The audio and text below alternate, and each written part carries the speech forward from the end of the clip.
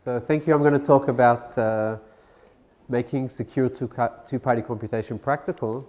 And the outline is as follows. There are three sections. In the first hour, I'll just deal with the, uh, the background, I guess it's 20-year-old stuff, uh, what secure two-party computation is, definitions, what we know about it on a theoretical basis, and then I'll describe the YAO and GMW protocols. So for those of you who are familiar with this, it's a good time to sleep after lunch.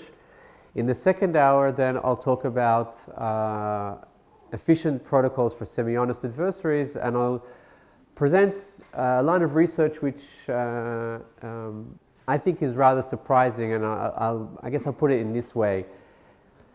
If five years ago, the common understanding was that the most expensive operations in these sort of protocols are cryptographic operations, and therefore, our, uh, in order to make it efficient, we have to reduce the number of cryptographic operations, whether, whether they be exponentiations in, a, in some uh, group or whether they be uh, AES computations or whatever it might be.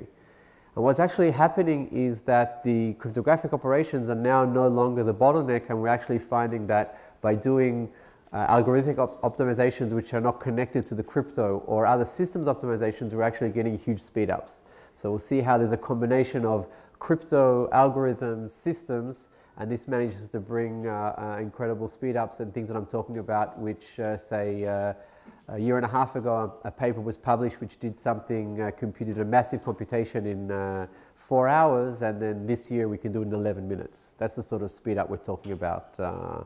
So things are really moving quickly in that space. And in the third hour, I'll talk about uh, uh, malicious security when uh, the adversary, and I'll, I'll define what semi-honest and malicious are, when the, a more stringent type of adversary, and I'll talk about also uh, how we can achieve efficiency. I'll focus on one particular uh, method uh, and, and some recent breakthroughs that we have in, in, on that as well. Okay, so let's start with the basic background, what secure computation is.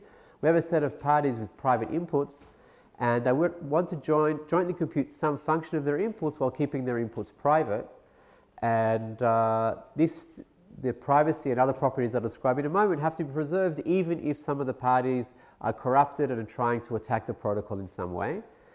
And from a theoretical perspective, and this is why secure computation has actually played a very heavy role in the theory of cryptography, this can actually model any cryptographic task you want to talk about. And, uh, almost any task you can talk about, even in security, you could model uh, uh, in this sort of way, and therefore proving or understanding what can be done securely in the, in, in the context of computation has very uh, far-reaching ramifications. What I'm going to focus more on today is obviously not those theoretical foundations, but how we're going to translate them, them into actually uh, things that we can use in practice, and I'll talk about applications also in a moment. Before we get to that, let's try and understand more what the security requirements that we want, for, uh, we want are in general. So let's talk about a secret auction. So a secure auction, sorry, with secret bids. So we want to know who the winning bid is, but we don't want to relieve, reveal any bid other than the win, winning bid. Okay, there are some reasons why you may want to do that. So the first thing that we uh, uh, want to require is that since it's a secret bid auction and only the winning bid is supposed to be revealed, that means an adversary is only supposed to learn uh, the winning bid and nothing more than that. So this is exactly what we uh, mean by saying privacy, that the only thing that's revealed is the output. Right? So the other party's inputs, which are their private bids, apart from the winning bids, should not be revealed. We also want to require, of course, that the winning bid is the one that wins, and you can't have some adversarial party who will actually make a lower bid, but will attack the protocol, the lower bid will be the one that wins. Uh, that wouldn't exactly be good for the, uh, uh, for the auction house. So for that, we want to require correctness. And also, there's another attack which is, a slight, which is a little bit more subtle which actually can be carried out if you're not careful with designing your protocol. And that's where an adversary may want to ensure that it's always going to bid the highest bid. Now, if the adversary is bidding on a BMW and uh, bids uh, $10 billion, then most likely this will be the highest bid. So that's not going to be a very good attack. But let's say the adversary can somehow uh, make sure that his bid is always $1 more than the highest bid. Okay, then this would obviously be a very good strategy for the adversary and would go against what we mean by a, a, a, sealed auction. You know, in a public auction, that's okay, but not in a sealed bid auction. And therefore, we want to prevent that. And what we're going to actually require is something called independence of inputs, which means that the, uh, uh, all parties have to somehow choose, are enforced, are forced to choose their input independently of the other party's inputs. They can't make it somehow depend on another party's input, and so they have to decide ahead of time how much they want to bid for the BMW, and they can't make sure their bid will always just be $1 higher than the other parties. So this brings us to the three main properties that we can talk about, which are privacy, saying that only the output is revealed, correctness, that the function is computed correctly and independence of inputs that the parties can't make their inputs based on others. And you can talk about this in many, many types of settings for uh, uh, privacy concerns, for uh, uh privacy preserving data mining, uh, or essentially anything you can model and these, these are sort of requirements that you want. The actual definition, and we'll talk about it soon, will generalize these requirements into a more uh, general sort of concept which is very clean and easy to understand. Now, I want to talk about the different possible adversaries because when we talk about a definition of security, there are uh, two main parts that we have to sort of nail down. The first is what we define to be a break, so what are the security properties we want to get, and also what power we give the adversary. What do we assume about our adversary? Can our adversary, if it's encryption, we, you know, can the adversary only eavesdrop or can they inject messages or these are the chosen plaintext, chosen ciphertext? We have, to, we have to make an assumption on the adversary that we have. And hopefully when we translate our use into the real world, we're going to use the right assumption, right? But, but uh, there are some settings where a weaker adversary is suitable and other settings where, where it's not. And that's, uh, um, that's already the second level, but it's uh, uh, important when we design a protocol that we clearly understand who our adversary is. So semi-honest adversary is a very benign sort of adversary who follows the protocol specification, but just tries to look at the message transcript of what's going on in the protocol to try and learn more information than allowed.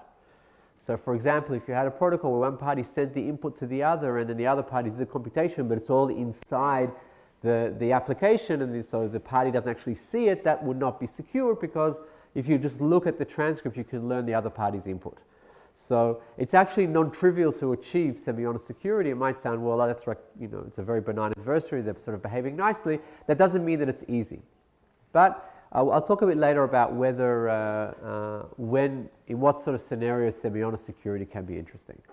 A malicious adversary is a much more interesting sort of adversary or, or, or the sort of guarantee that we'd want and it basically guarantees that an adversary can't do anything, an attacker can't get, learn anything more than it's allowed to, or breach correctness or anything, no matter what they run. So they can use any arbitrary strategy, run whatever malicious code they want, they're still not able to, to uh, uh, breach the security of the protocol. So that's a very, very strong guarantee. And obviously, in general settings, what we want is security against malicious adversaries.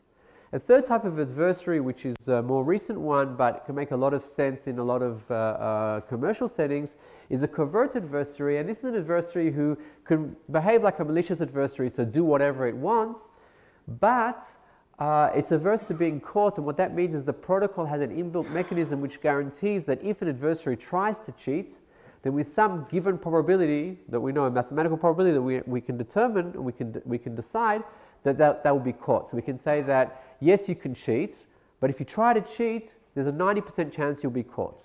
And then the adversary has to come along and decide whether it's worth their while, the 10, what their payoff is for that 10% versus 90%. And this actually fits in with sort of game theoretic approaches to security as well, because you can talk about the utility of the adversary and based on that, set the, uh, uh, set the deterrent factor or, or what probability you're going to catch the adversary. So that would make sense, for example, if uh, you have a, a, consortium of companies who, who are cooperating to uh, uh, run some sort of private algorithm on their data, but they don't want to reveal it to each other. And uh, if, a, if one of those companies gets caught, they'll be thrown out, and apart from their uh, losing a lot of face, they'll also uh, not be able to participate in the consortium anymore, and so that would be a good deterrent, and they wouldn't want to do that. You can talk about adversarial power, so polynomial time is the standard one, but actually there's also uh, uh, a lot of work which has been done on information theoretic security for secret computation. I won't talk about it in this talk.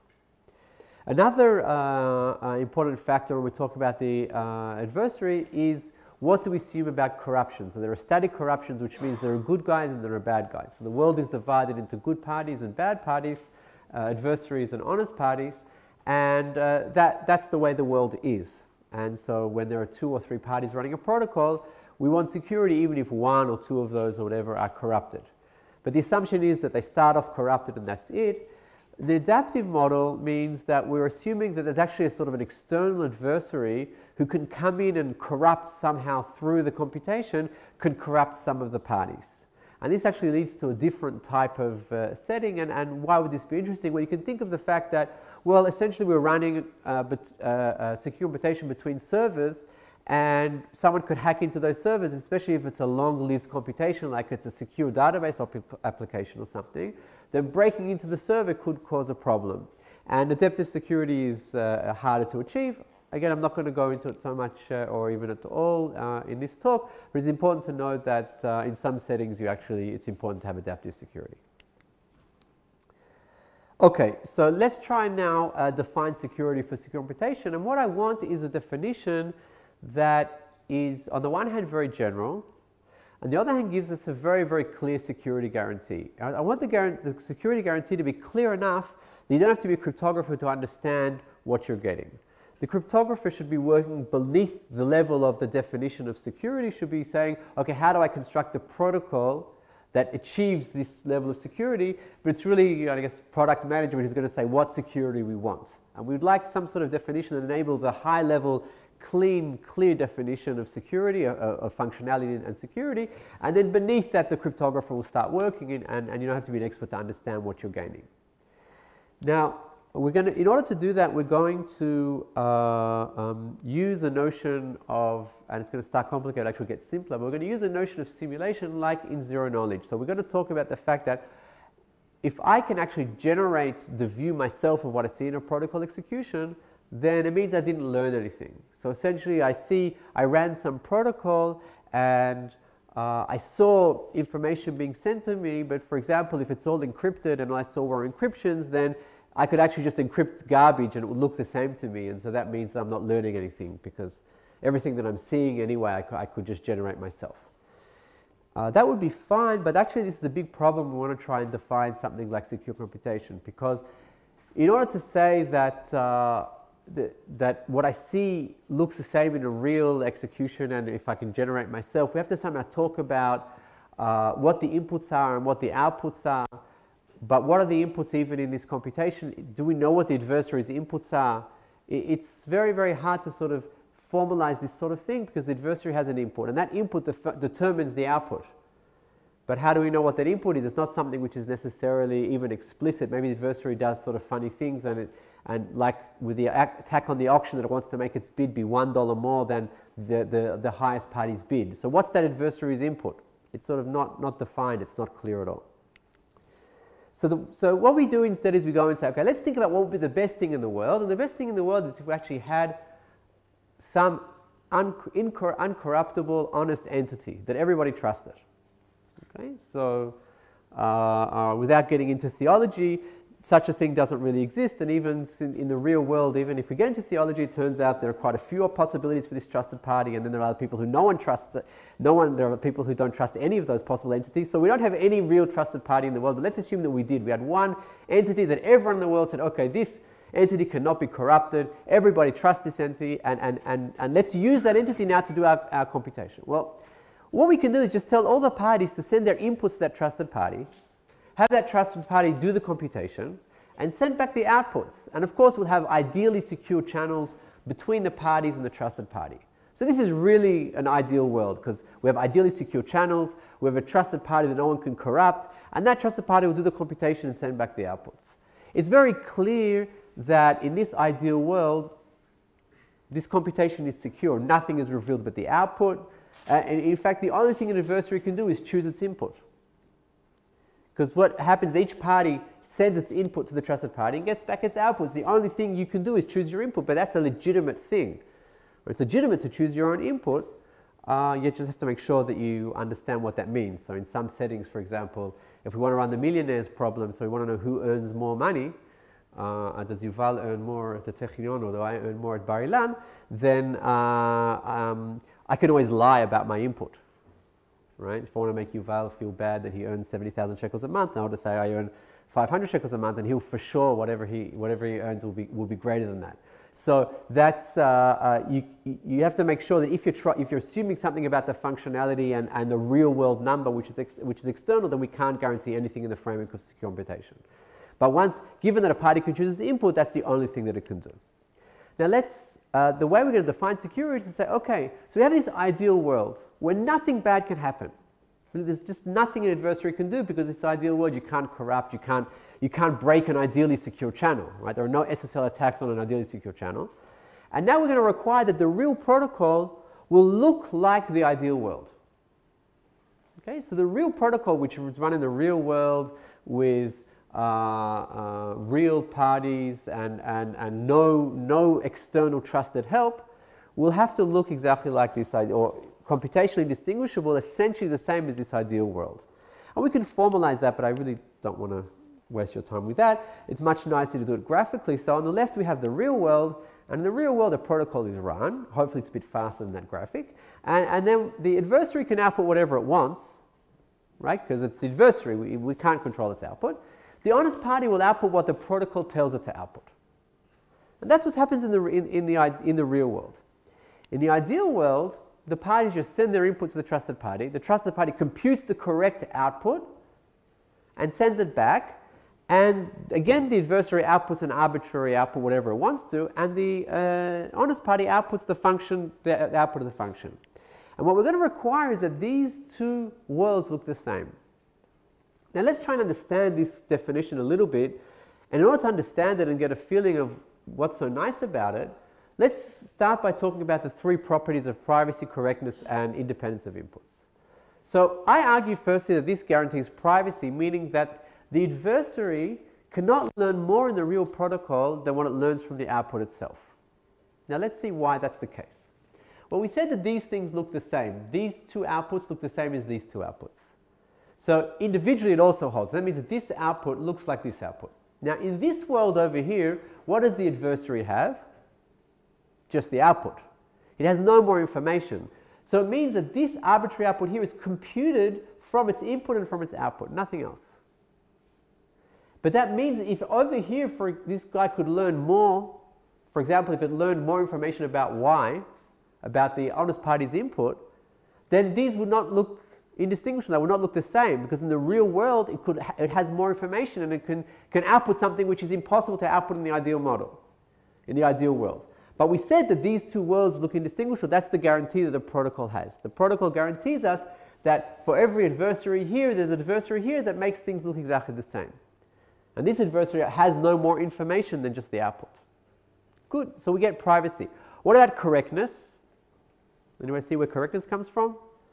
In the ideal world, it's correct. That means that there is some input that was sent here, and the, ideal, and the trusted party computed the correct output based on the input from here, and the input from here. Essentially, this also means that we actually force the adversary's input to be explicit. There's an explicit input, even though the adversary might be doing very strange things, there's actually an explicit input that we force it to have. And we can learn what that is. That's what the security property guarantees us. So therefore, correctness is also. And likewise, independence of inputs.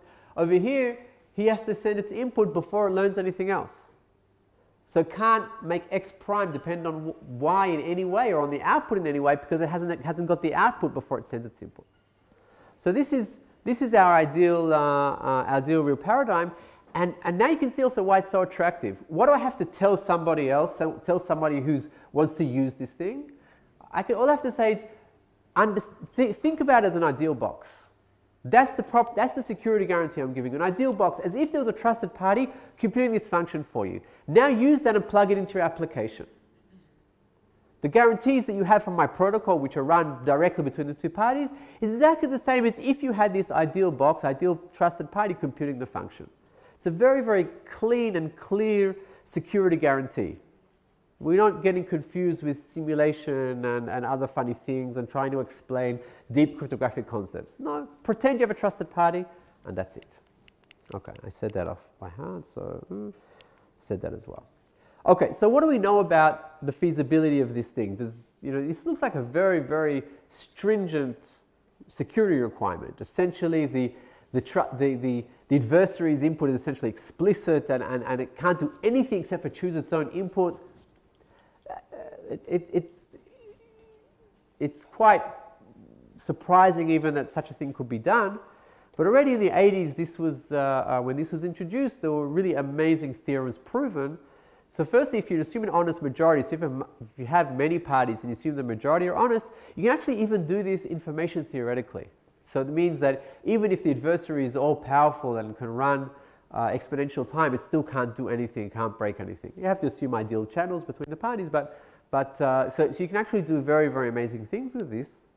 Without an honest majority, which is what I'm going to focus on here, because this is especially the two-party case, which I find to be most of most interest in, in applications, but also it can be a small number of parties, say four parties where up to three can be corrupted. Even then, you can actually securely compute any functionality that you want.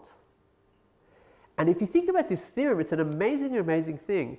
Not only do I have this really powerful security definition that's really clear, to, easy to understand and, and tell the world about, I can actually compute any functionality that I want. Right? So if it's privacy preserving data mining or it's a secure, uh, it's a, a, a, private database search or it's a, private genetic matching or, or it doesn't matter what it is, whatever you want to do, anything you want to do privately, you can do. Of course, the only thing you have to add is in theory. Right? It's polynomial time, right? So it might but can you actually, what, what do these feasibility theorems say about something in practice is actually a question that we really only started asking in a, less than, I guess in the last decade, but actually even less than that.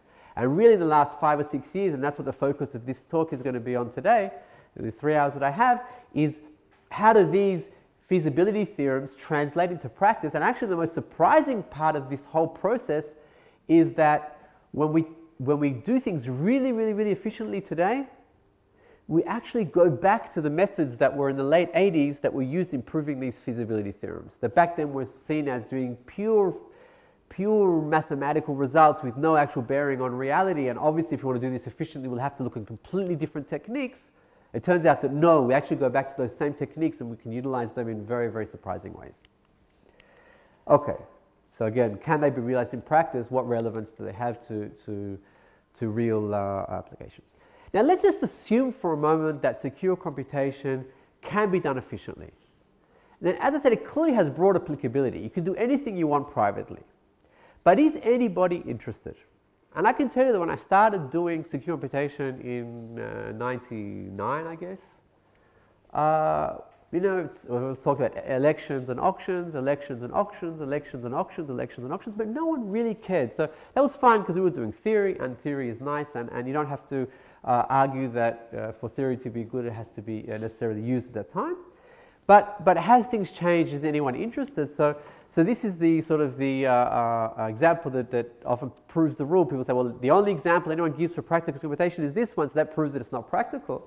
But let's talk about this project. There's actually uh, a sugar beet game theoretical auction that's run via secure in Denmark. And it's actually done every year and it's a big thing. And, and, uh, uh, and so, so here's a real secure computation on a large scale that's actually used in practice. Okay, that's the only one essentially we know of. So let's talk about some other examples of things that have sort of been happening and, and uh, uh, just to get the feeling of, you know, is it worth listening to me until 5.30? Well, it might not be, but, but at least let's try and see that if, if, if it's not too boring, then maybe it's worthwhile.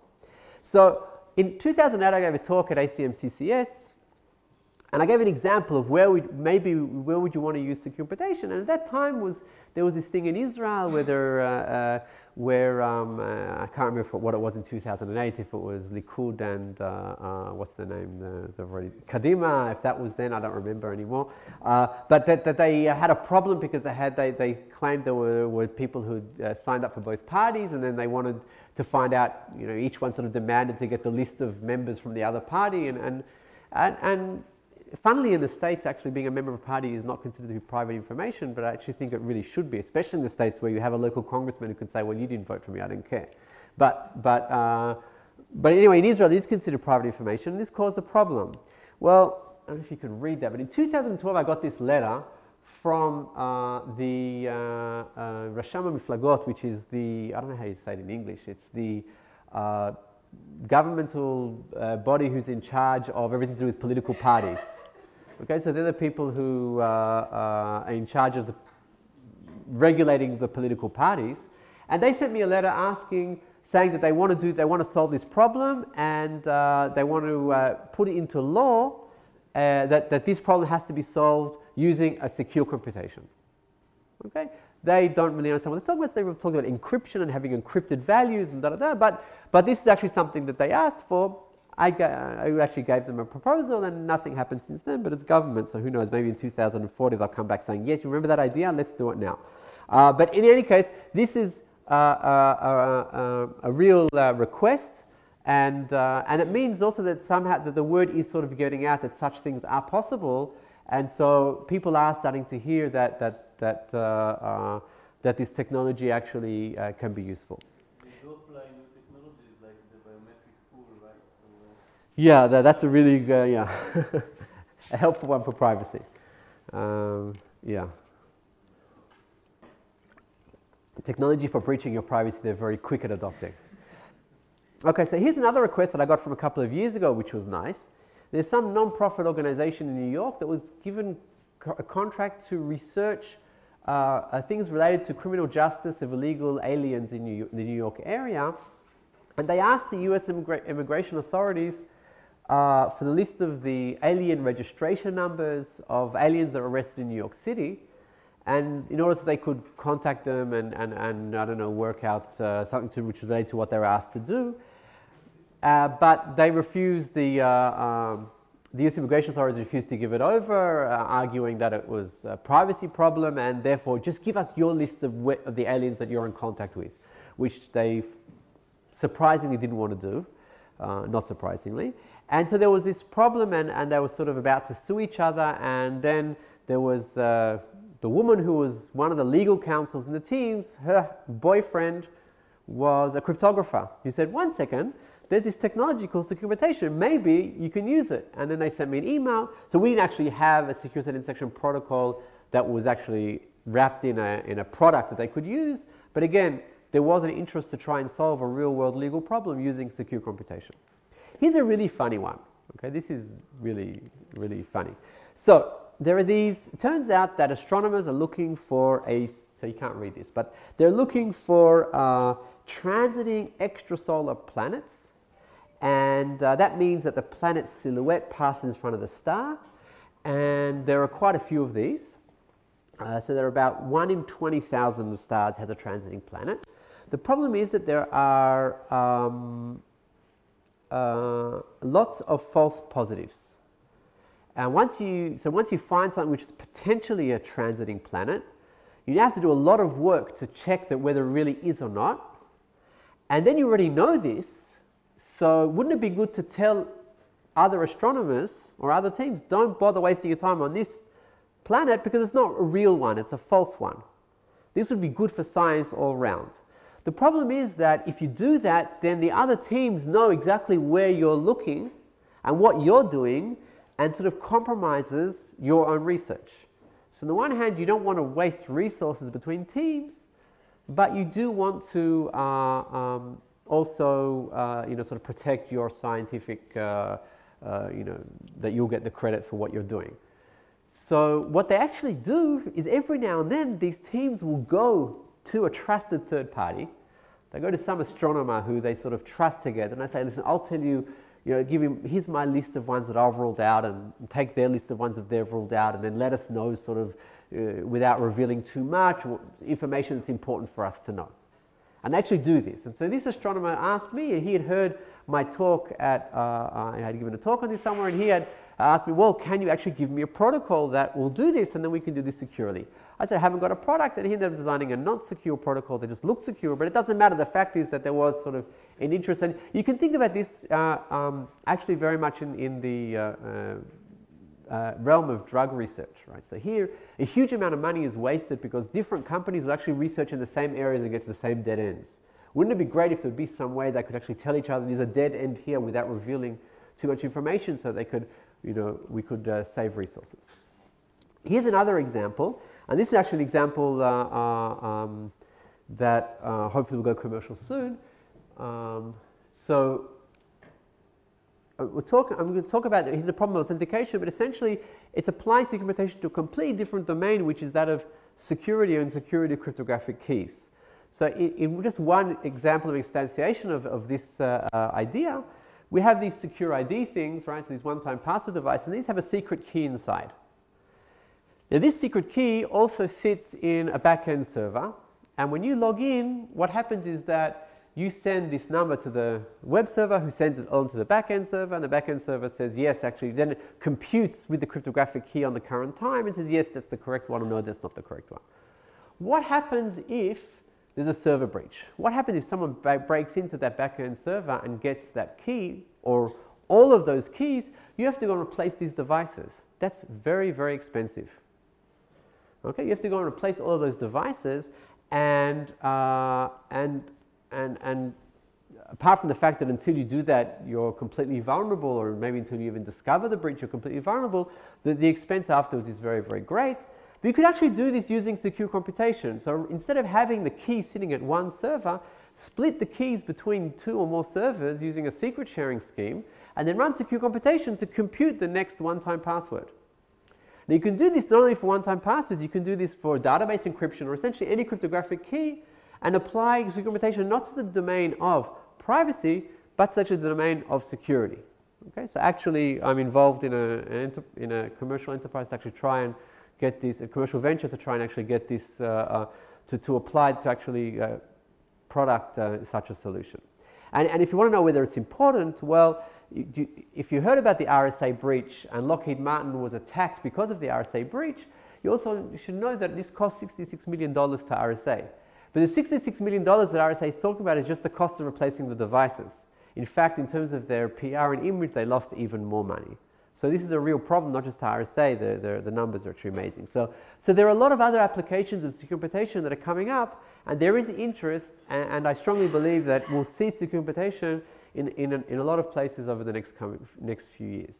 So this is something that, that uh, it, it has become a reality and has applications, it has good motivation, so Stay awake. That's all I'm asking. All right.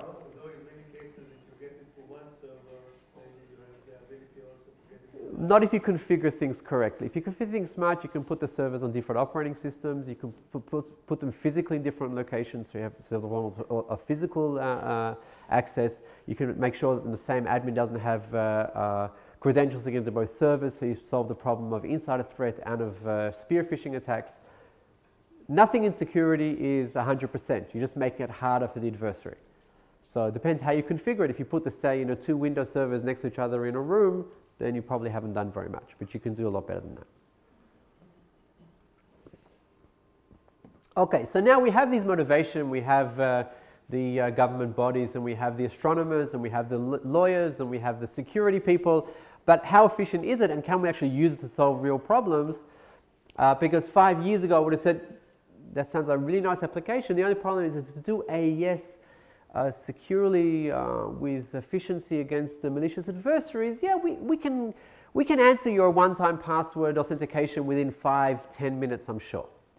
Okay, so that wouldn't exactly be an answer that will, uh, you know, it's not, not the best uh, idea for a startup.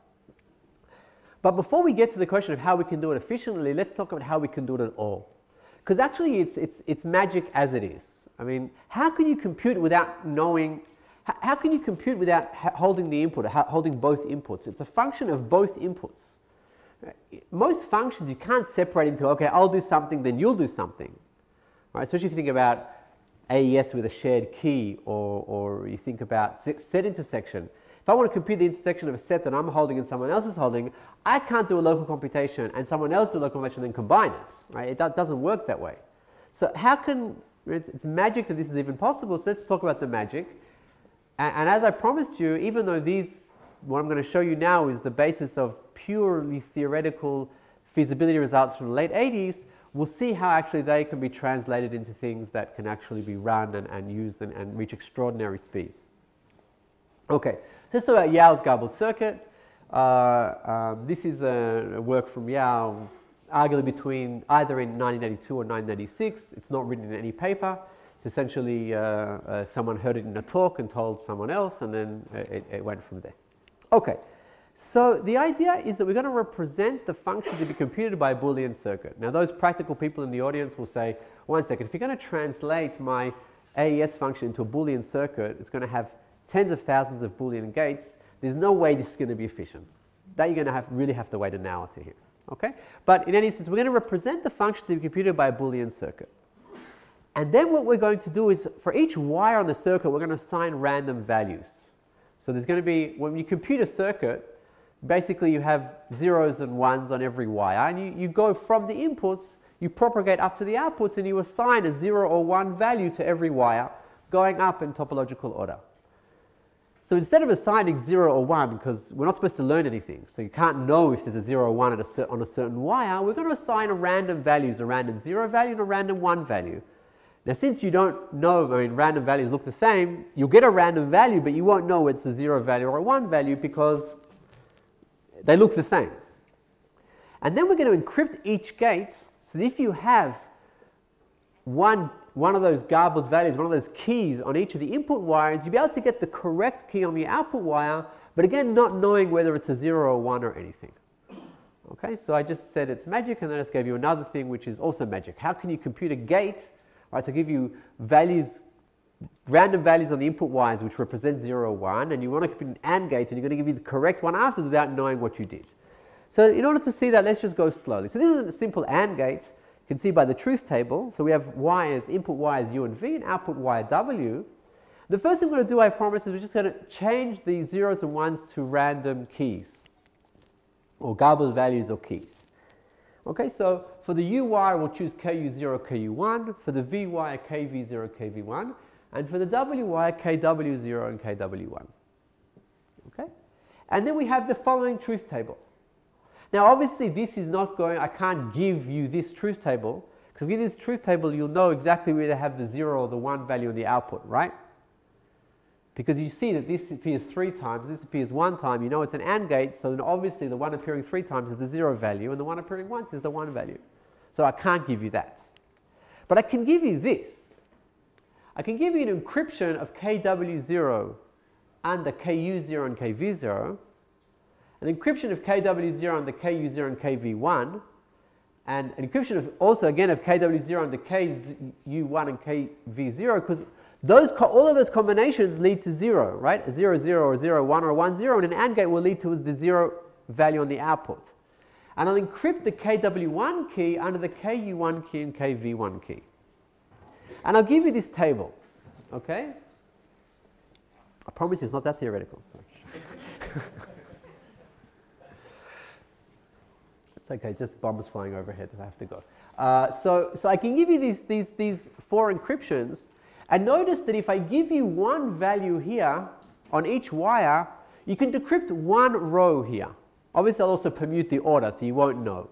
So if I give you one of these and one of these, you can get one of those, but because you're able to decrypt one, one row, but you, not, you actually don't know what you decrypted. When you know that you decrypted a row, you know the others didn't decrypt correctly. We'll have to show how you do that in a second. But you know the others decrypted incorrectly. This one is the only one that decrypted correct, correctly. So that's the correct output value. Is it 0 or 1? You have no idea. You just got a single value.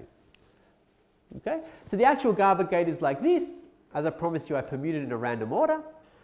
And, uh, and now, as I said, when you're given one input, uh, one key on each input wire, you can get one key on the output wire, but without knowing what it is. And of course, you just combine these things together and you can compute an entire Boolean circuit by decrypting or you can construct such a circuit by encrypting all of these things and you can compute such a circuit by decrypting all of these things once for each gate. And this is where you start thinking, okay, this is obviously not, not efficient, right? I mean, you have to do AES or, or encryptions or for every single gate of a Boolean circuit. But again, be patient with that. One more thing we have to solve is what about the output? How do we get the actual output? Well, that's easy. If, it's a, if a gate is, has an output wire and has an output of the entire circuit, then we just give you the translation. So we tell you, okay, when you got to the very end of the circuit, you got to the, the, the end of the circuit, you read an output wire. If you got K0W, then that's actually the zero value. If you got K1, KW1, then that's the one value. So now you can just translate it back to, to a 0, 1. You could actually also encrypt 0, 1 at that last gate, but, but it doesn't matter. Okay, so how do we construct a, a, a garbled circuit from that? So I'm given a Boolean circuit, right? So we have some Boolean circuit that computes the function that I want to compute. And I assign garbled values to all wires. This is the first thing I do. I go over all the thousands and thousands of wires and assign two random values to each one. One I call a 0, one I want to call a 1, but only I know it. I don't tell you what it is. And I construct all of the garbled gates using those wires. So I do all these encryptions. I encrypt all of these AND gates, XOR gates, uh, OR gates, uh, NAND gates, whatever the gate happens to be, I can just encrypt it exactly in the same way. I could actually even do things which are more than Boolean gates if I wanted to, but let's just leave it as Boolean gates because uh, it would blow up when it gets bigger because of truth tables. And then when I'm given a set of, if I construct such a garbled circuit, the property is if I give you one key for every input wire, that essentially represents a single input value. Because on every wire that's a 0 or 1 bit, so I'm giving you one key for every input wire, that means I'm setting now the input to be computed. I can now give this to someone else who can now compute the entire circuit and get the output without learning anything. They have no idea what they computed. Okay, we're not quite yet there to how to make this into a secure implementation protocol, but you have to understand that's the property of a garbled circuit. If I have a garbled circuit and I have one input, one input key, one key on every input wire, then I, that determines a single input for the function, and I can compute the output of the function, but without knowing anything at all, except for the output. This is the way it would look when I'm combining these things together. So I have, this is the truth table for the A, B, so that's here. This is the, sorry, the garbled gate. That's the garbled gate for this, and that's the garbled gate for that. So I'm given one key here. I can go, I can decrypt according to, I can decrypt this. I can decrypt this one to get the KC value, which is this one. And then uh, uh, I have the, the, what, the value from here and the value from here, and I use that into here and use that into here. And I decrypt and I get these two values, and I use the output translation table. Okay? Yeah? You said there was another quality that uh, you could uh, decipher any row except the row for which you got. Well, I'll talk about how you get that in the end. Yeah, you have to know how to get the right one. Yes. Just to make sure, the keys are not one bit long, right? No, no, they're 128-bit AES keys. The real keys, okay. The real keys. You, otherwise, you could guess yeah. and you could get a good idea what's going on for sure. The 128-bit cryptographic keys for encryption functions. Okay. Now, in order to get to the protocol of TR's protocol, I have to introduce another primitive called oblivious transfer. And oblivious transfer is more magic. And the, the oblivious transfer function is, is, is as follows.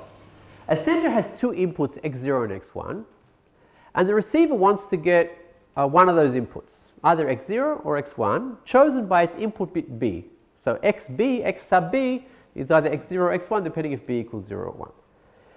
Now that's pretty easy to do, right? The receiver can tell the sender, okay, I want the first string, and gets x0. Or the sender can send both strings to the receiver, and the receiver will take the one that it wants. With oblivious transfer, we don't want either of those things to happen. We want the receiver to get the one that it wants without learning anything about the other string, and we don't want the sender to know which string the receiver got. This is a paradox, right? How can you know, if the sender doesn't know which string the receiver got, it has to send both strings. But if the receiver is only allowed to learn about one string, how can it only learn one string without telling the sender which string it wants? So this is, this is, this is a paradox. This is something which shouldn't be possible in the real world. With cryptography, it's possible. Let's see how to do it. And it's actually very, very simple and very, very cute. Very, very nice. And a really nice application of public key cryptography. So with the sender, it has inputs x0, x1, and the receiver has an input bit b. And x0 and x1 can be strings, not, not bits. So the first thing a receiver does is samples a public-private key pair, PKB, SKB. So for the bit B that it, it wants to get, it, it samples a, a public-private key pair. As you'll see in a moment, we'll do, use El Gamal. I'll explain why El Gamal, not RSA in a second. So it samples that. And then it samples a second public key it doesn't know the secret key. I'll tell you how to do that in a second. And then it sends both of those public keys to the sender.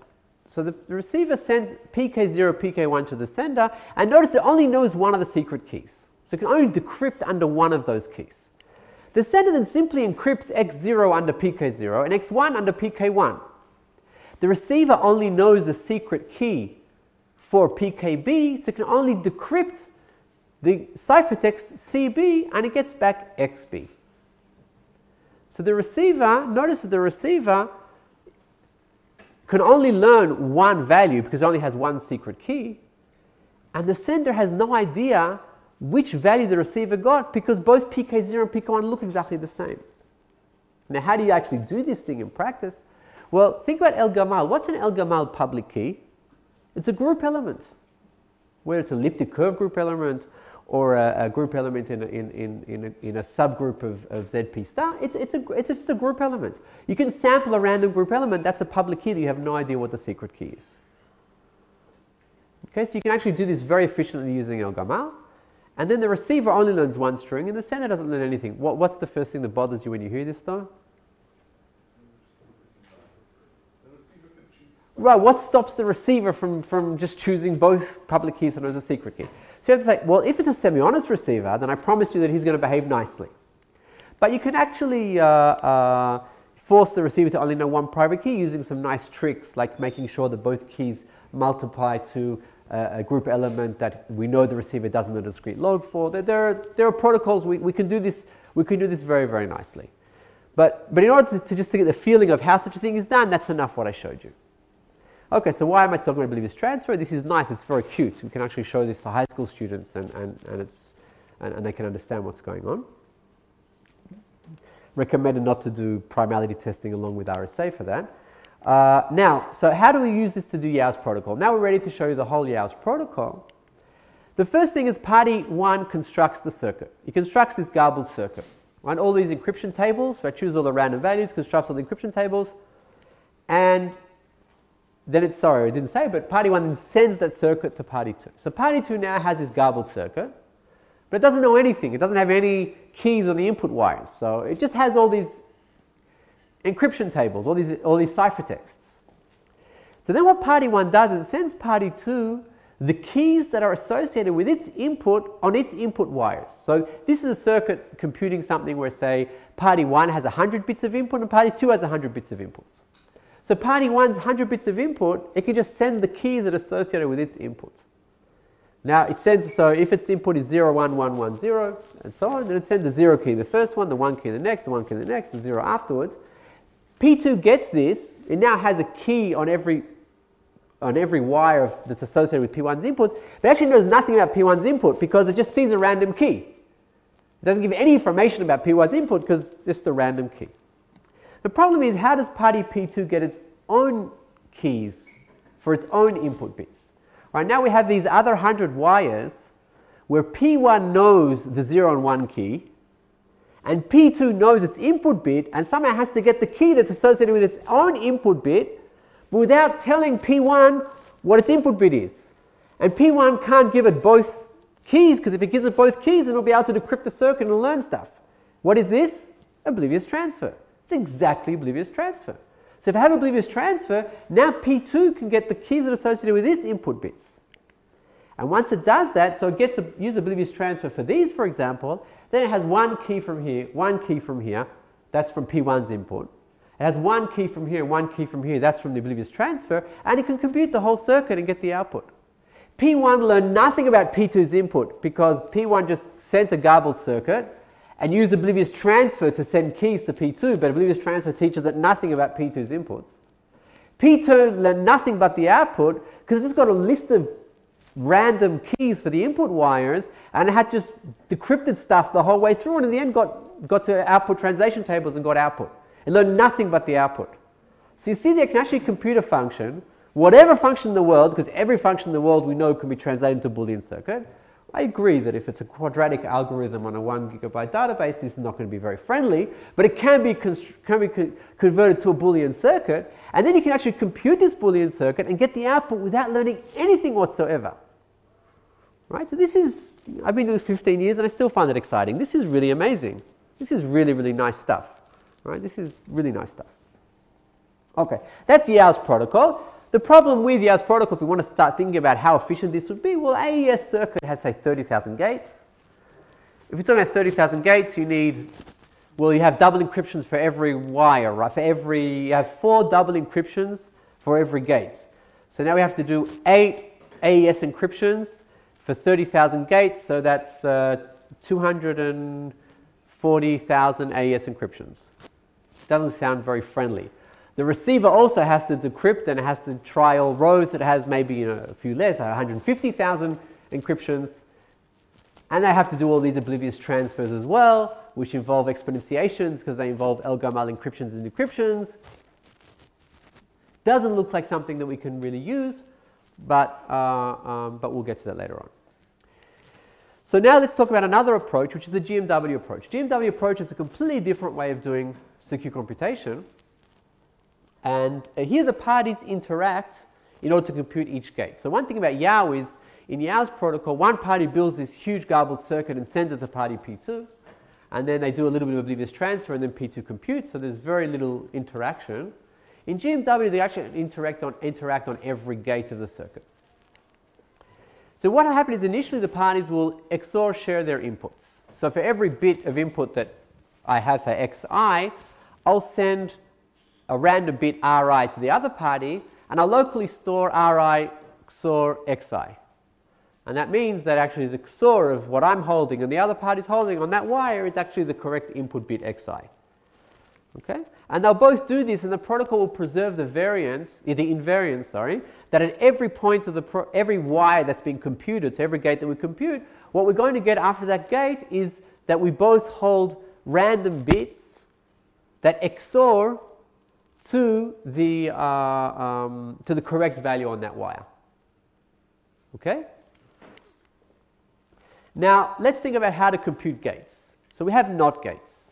Well, to compute a NOT gate, just enough for one party will flip its bit. Because if you think what happens is we both, now in GMW, we're not using 128-bit encryption keys, we're just holding random bits that XOR to the correct bit on, on, on that wire. So if, I'm if we're both holding bits that sorts the correct value and we're going through a NOT gate and the other party leaves its bit unchanged and I flip my bit from a 1 to a 0, we're flipping the value of that bit. So it's exactly a NOT gate. So just a local flipping of a bit by one party is all you need to do to compute a NOT gate.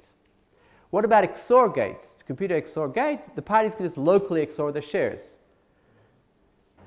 Um, by the way, if there's questions, you can please, please feel free to ask uh, at any time. So, hmm? In order to, for the XOR to work, doesn't the RI has to be the same on both? No, every every wire is separate. So in every in the beginning, we, we just prepare all we, we use a different random value on each wire. But what we have is that our XOR value, our, the shares, that, the bits that we hold are random under the constraint that they XOR to the correct value. So if I'm holding a 0, you're either holding a 0 or a 1, and that will determine whether the bit is, whether the correct value is a 0 or 1, and, and we don't know anything apart from that. So I don't know anything, my bit is random, but under the constraint that they XORs together to the right value. So in order to compute an XOR gate, I claim that all the parties have to do is XOR their local shares. So, so P1 has alpha 1 on the first wire and beta 1 on the second wire, and P2 has alpha 2 on the first wire and beta 2 on the second wire. So essentially the correct values are alpha 1 XOR alpha 2 and beta 1 XOR beta 2. And what happens, each party is locally XORs the values, so P, P1 defines the bit, its share on the output wire to be alpha 1 XOR beta, beta 1, and P2 defines its bit on the output wire to be alpha 2 XOR beta, beta 2. Now, this is correct because we know that alpha 1 XOR beta 1 XOR alpha 2 XOR beta 2 is exactly equal to alpha 1 XOR alpha 2 XOR beta 1 XOR beta 2, and that's the XOR of the correct values. So yes, they hold shares of the correct value. So just a local value that actually don't have to interact. So I said, I promised that they'd be interacting at each gate, and I actually lied to you. For NOT gates and XOR gates, they don't have to interact. They just do local computation. We get to an AND gate, it gets more complicated. Actually, not an AND, it's, it's, it's, it's essentially any gate, but let's see how they can do this. So now they have to compute alpha 1 XOR alpha 2 and beta 1 XOR beta 2. And this is the problem because one party holds alpha 1 and beta 1 and the other party holds alpha 2 and beta 2. And if you open this up, then you have this pro cross product of alpha 1 with beta 2 and alpha 2 with beta 1, and you can't compute that by yourself. So no, no more local computation here. So how can we do it? Well, notice that P1 knows alpha 1 and beta 1, but it doesn't know alpha 2 and beta 2. If you think about it, what that means is that there are four possible values for the output value, depending on alpha 2 and beta 2. Right, there are, because the two bits that P1 holds are fixed, so there are just two bits it doesn't know. That means there are four possible values for the output wire. So P1 can prepare a table of all four possible values, right? So it knows, it, it says, okay, well, if alpha 2 is 0 and beta 2 is 0, then the result is going to be alpha 1 and beta 1 by just plugging in 0 here and 0 here. And it's going to say, well, if alpha 2 is 0 and beta 2 is 1, then this will be the result. Right? To be concrete, if alpha 1 is 1 and beta 1 is 0, then it just builds this, this, uh, uh, uh, this list of four, this table of 4 essentially, saying, well, I don't know what B2 has, but if it had this, then this would be the result. And if it had this, this would be the result, and so on and so on. And then the parties can want a, a, uh, 1 out of 4 oblivious transfer. We saw a 1 out of 2 oblivious transfer where the receiver chose two public keys, one which it didn't know. Now it can choose four public keys, three of which it doesn't know. And only going to get one value. They can run this 1 out of 4 oblivious transfer where party P2 will input the, for example, if its input is 0, 1, it'll input 2. It wants the second one. Or if its input is 1, 1, it'll input 4. Now actually P1 won't put 0, 1, 0, 0. What P1 will put in is this sort with the random value and will keep the random value to itself. So again at the end of this step they'll have shares of a random bit. Okay, that's the GMW protocol. It's very, very simple. The only problem with the GMW protocol is it requires the oblivious transfer for every single gate. Now, if we talked about 24,000, sorry, 240,000 AES computations, doing uh, 200 or, or, or yeah, 240,000 exponentiations, say in El Gamal exponentiations, is really going to kill you. Right? So, so actually, for many, many, many, many years, in terms of efficiency and practicality, uh, GMW was considered to be a complete no-no. In addition to that, uh, as, as, I'll say here, if we compare them, Yao is a constant number of rounds. You just send the garbled circuit into the oblivious transfers in parallel, Whereas in GMW, essentially for every layer of the circuit, you have to interact. You don't have to do, interact separately for every gate, but for every layer, you have to interact. So if you have a deep circuit with hundreds of uh, uh, layers, which you probably would have in practice in many, in many functions you want to compute, then you need many, many rounds of communication. So, so GMW has that uh, disadvantage. Another disadvantage that GMW has, we said that Yao actually uses uh, symmetric operations most the, for, for everything except for the, the OTs on the input. So it uses asymmetric operations just for the input, but the rest is symmetric operations, whereas GMW is using uh, uh, asymmetric operations for every gate.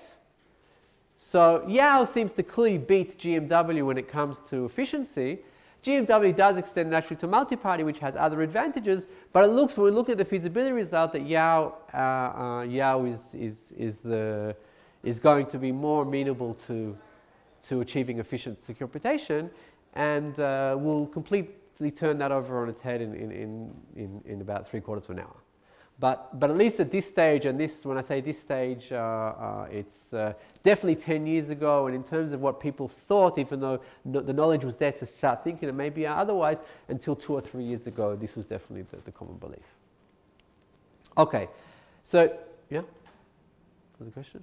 Okay, so GMW and Yao are both, uh, they prove feasibility, um, but how efficient can they really be? They involve a lot of communication, they involve computing over a Boolean circuit. This doesn't seem to be something which is uh, uh, going to reach real-time speeds. So if I have, a, again, a 30,000 gate circuit to compute AES, I just have to transmit, not only have to compute 24,000, 24,000, 240,000 uh, AES computations, I have to send 12, 120,000 ciphertexts, if each ciphertext is 128 bits, then you can do the computation for yourself. And that's a, that's a lot of uh, communication. Okay. Another question that we have is, okay, so as we showed that's only good for semi-honest adversaries, what happens when we want to get security from malicious adversaries? And that's exactly going to be the third part of my talk. So in the next second part of the talk, I'll talk about semi-honest adversaries and how efficient we can get and what techniques we have and also why it's interesting because we really want security for malicious, and then I'll go into talking about what techniques we need to get to malicious security and, and, and where we are in terms of its costs.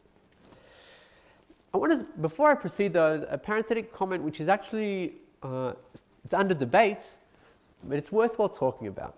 The protocols that I showed you now are general protocols, right? They talk about a, uh, uh, a general Boolean circuit for computing the function.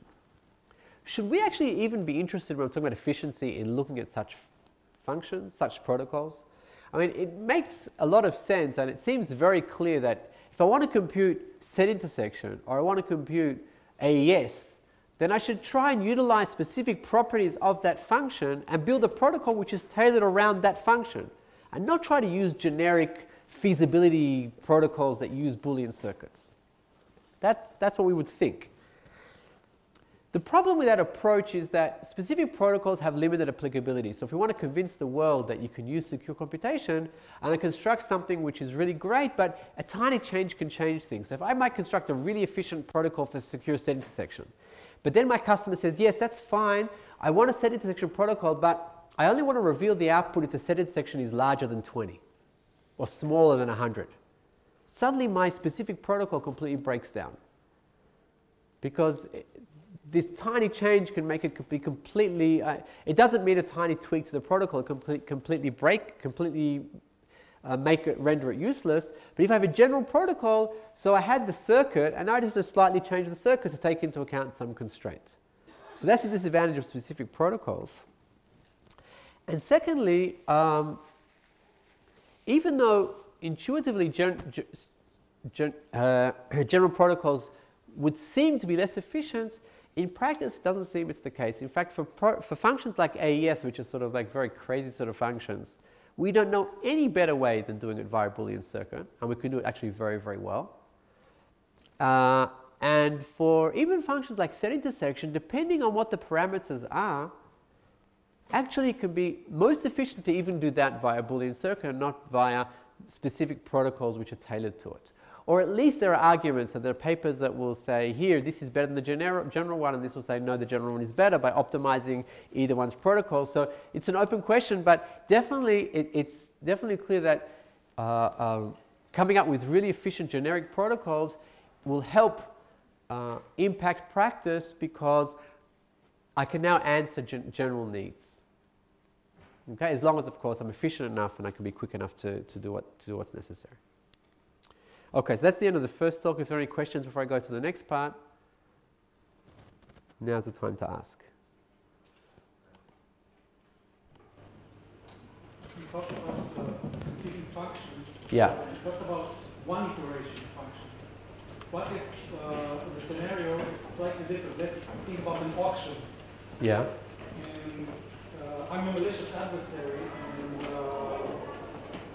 let's say we're we're bidding for something, and then I'm posting one dollar. The, the honest broker says X one, not you. So I say no, no, no. There's something wrong. Let's do it again. And I'm posting ten dollars. So by you know by posting it iteratively, I can actually find out what Yes. how much this X. But how can you claim that something went wrong? Well, because in the practical world, said you know let's take uh, elections. Somebody might say no, I want uh, I, we need to do a recount of the vote. Right, so in- in- So, firstly, what you're going into, firstly, uh, the guarantee of the protocol will be that you can't, nothing, if it's and malicious, nothing can go wrong. So, or you'd have to have some sort of proof. You can't just say, in elections, you can't just say arbitrarily. In terms of elections, though, what you actually hit is, is, is a very interesting point. That many years ago, we realized that the problem in doing a secure election is not the cryptographic protocol. Because elections have a lot to do with voter, uh, um, uh, that, that voters have tr- trust the system, that you have a paper trail, etc., etc. But I think that Alon Rossetti is going to talk about that, right, uh, Yuval? Alon is going to talk about elections, right? So he'll, he'll talk about that, and, and there are actually the majority of issues that are necessary, uh, uh, the, the, big, the big problems that arise is sort of combining a cryptographic protocol in a setting where uh, you have a paper trail and you can actually check things afterwards and, and users can know what they, what they voted is the correct thing, etc., etc. So yes, in that sort of, if you have something which is related to, again, to, to user belief, then, then this is going to be an issue. Um, you have to take into account when you build it into an application.